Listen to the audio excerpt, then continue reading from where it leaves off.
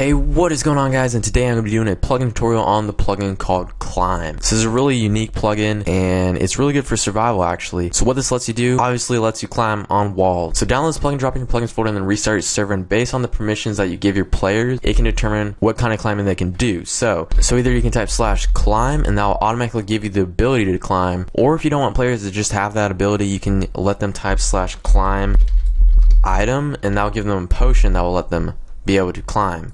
So it's whatever you want to do. So if you just run or even walk and jump towards a wall, then you'll just start climbing up it. So it's pretty sweet, and this can really add a nice feature onto your server. And it's pretty unique, so this can be used for PvP, survival, whatever you want. It's really, really awesome, and it looks pretty cool. I mean, it doesn't look laggy or choppy or anything like that. So that's pretty much it for this plugin tutorial. So hopefully you guys did enjoy this plugin tutorial. If you did, make sure to drop a like, subscribe for more, and I will see you guys next time. Peace out.